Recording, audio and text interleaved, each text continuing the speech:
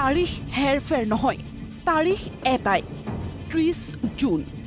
আৰু চাৰিদিনৰ পাছত অৰ্থাৎ ত্ৰিছ জুনত প্ৰকাশ পাব ৰাষ্ট্ৰীয় নাগৰিকপঞ্জীৰ সম্পূৰ্ণ খচৰা।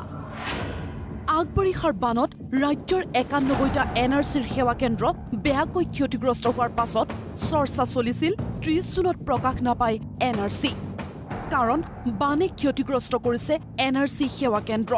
বানে এন আৰ চি সেৱা কেন্দ্ৰত পেলোৱা প্ৰভাৱৰ কথা লিখি উচ্চতম ন্যায়ালয়ক প্ৰতিবেদনো দিছিল এন আৰ চিৰ মুখ্য সমন্বয়ক প্ৰতীক হাজেলাই। হাজেলাই প্ৰতিবেদন দিলেও উচ্চতম ন্যায়ালয়ে কিন্তু এই পৰ্যন্ত নিজৰ স্থিতি বাহাল ৰাখিছে। এতিয়ালৈকে এন আৰ চিৰ সম্পূৰ্ণ খচৰা প্ৰকাশৰ দিন পিছুৱা সম্পৰ্কত দিয়া নাই নিৰ্দেশ। সেয়ে হলে ত্ৰিছ জুনতেই প্ৰকাশ পাব এন আৰ চিৰ পূৰ্ণাংগ খচৰা। এন আৰ চিৰ খচৰা প্ৰকাশৰ পাছত সৃষ্টি হ'ব পৰা যিকোনো পৰিৱেশৰ সৈতে মোকাবিলা কৰিবলৈ সাজু ৰাজ্য চৰকাৰ।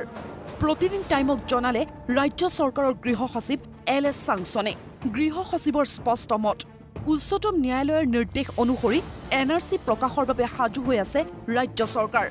এন আৰ চি প্ৰকাশৰ পাছত সৃষ্টি হ'ব পৰা পৰিস্থিতিৰে মোকাবিলা কৰিবলৈ আৰক্ষী বাহিনীও সাজু। অতি স্পৰ্শকাতৰ জিলা নগাঁও মঙলদৈ বঙাইগাঁও গোৱালপাৰা ওদালগুৰি বৰপেটা মৰিগাঁও বৰাক উপত্যকাত তীক্ষ্ণ নজৰ আৰক্ষীৰ। কেন্দ্ৰৰ পৰা অহা অতিৰিক্ত বাহিনীয়ে স্পৰ্শকাতৰ জিলাসমূহত নিৰাপত্তাৰ দিশটোত অসম আৰক্ষীক সহায় কৰিব। এক কথাত ত্ৰিছ জুনত তিনি কোটি ঊনত্ৰিছ লাখ লোকক সামৰি প্ৰকাশ পাব এন আৰ চিৰ পূৰ্ণাংগ খচৰা। লগে লগে স্পষ্ট হ'ব অসমত কিমান ভাৰতীয় লোক আছে। এন আৰ চিয়ে আনি দিয়া এই সিদ্ধান্তই অসমৰ দীৰ্ঘদিনীয়া বিদেশী সমস্যাৰ অন্ত পেলাবনে? কেমেৰা পাৰ্চন আকাশৰ সৈতে গুৱাহাটীৰ পৰা প্ৰাঞ্জল বৰাৰ ৰিপৰ্ট প্ৰতিদিন টাইম।